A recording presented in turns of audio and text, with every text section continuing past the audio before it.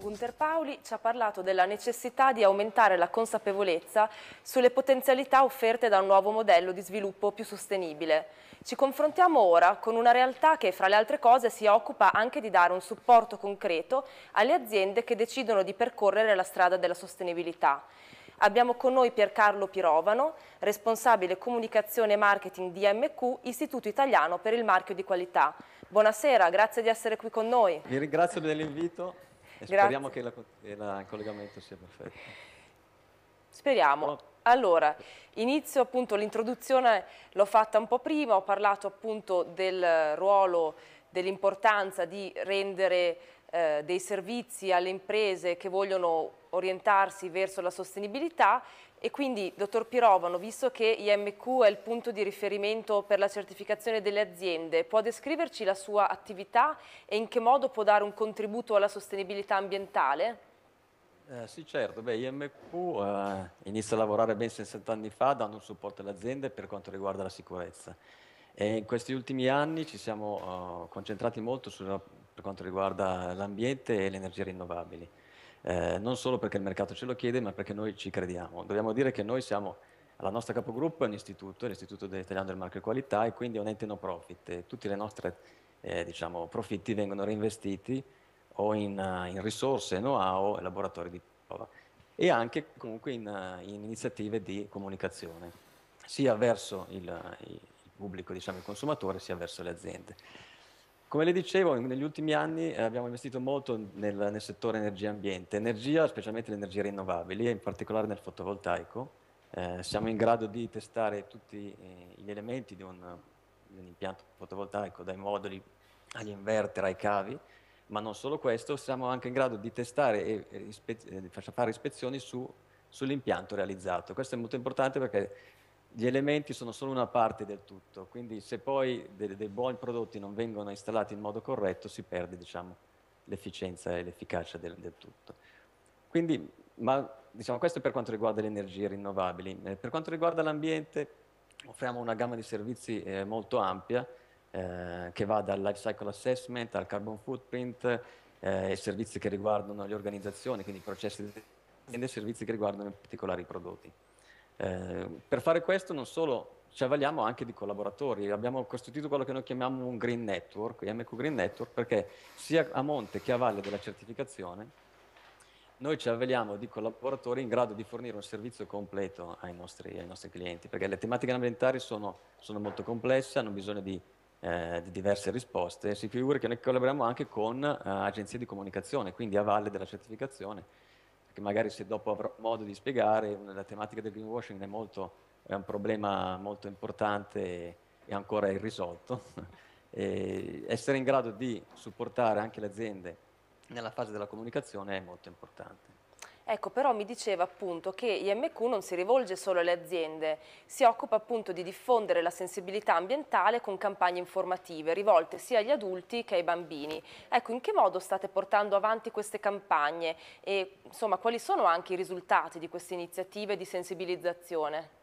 Ma i risultati sono molto interessanti, almeno per i ritorni che noi abbiamo. Queste campagne si rivolgono sia alle aziende, noi quindi facciamo anche workshop di sensibilizzazione alle aziende clienti e non, per intraprendere percorsi virtuosi nel campo dell'ambiente. Abbiamo fatto già anche sei anni fa un workshop eh, sull'LCA, quando ancora se ne parlava poco e ogni anno comunque almeno uno o due workshop li, li dedichiamo a queste tematiche.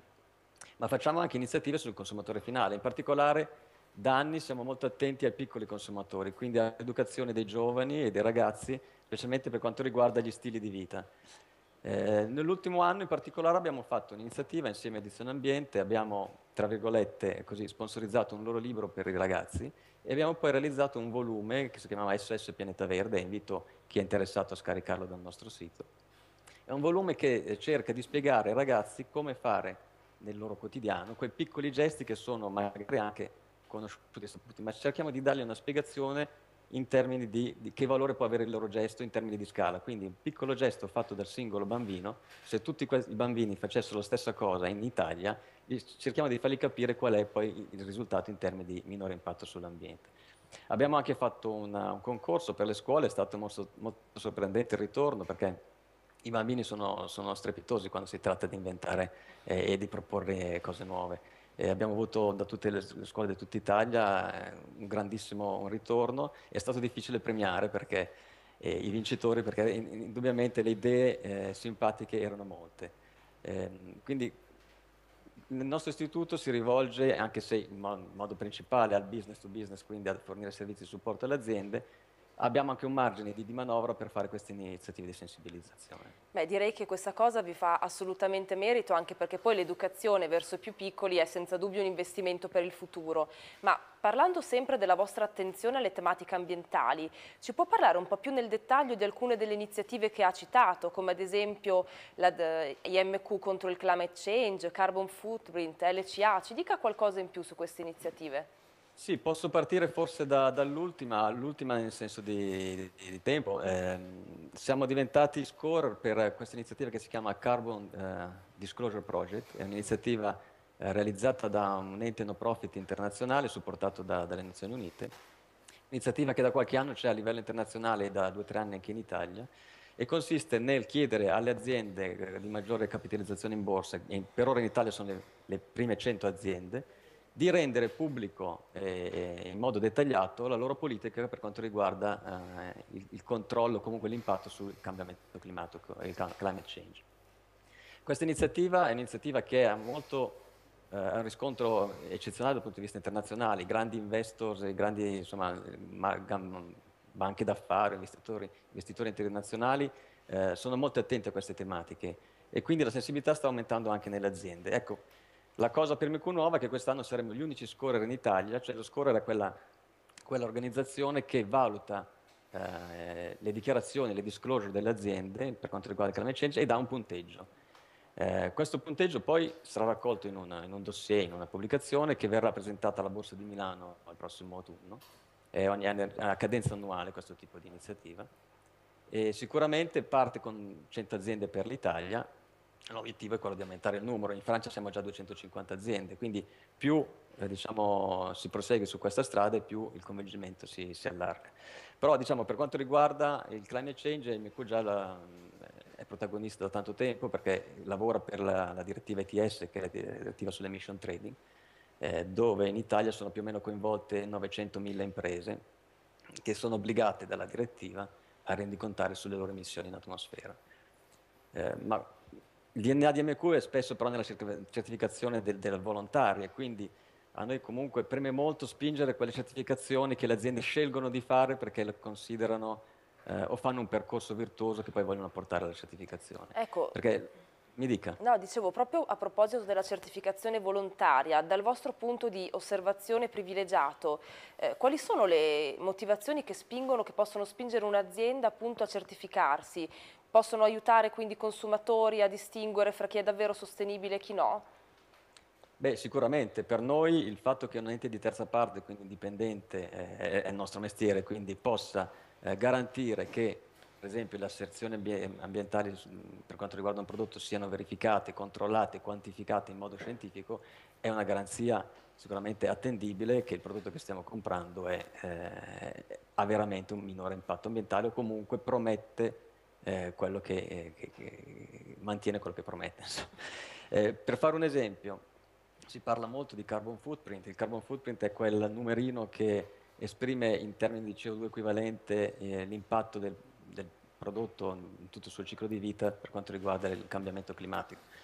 Una piccola parentesi, il cambiamento climatico è solo uno degli, dei problemi ambientali, quindi il carbon footprint esprime solo uno degli impatti del prodotto, non è un numero sintetico che esprime eh, diciamo, il, la complessità degli impatti del prodotto, però comunque è già un buon punto di partenza.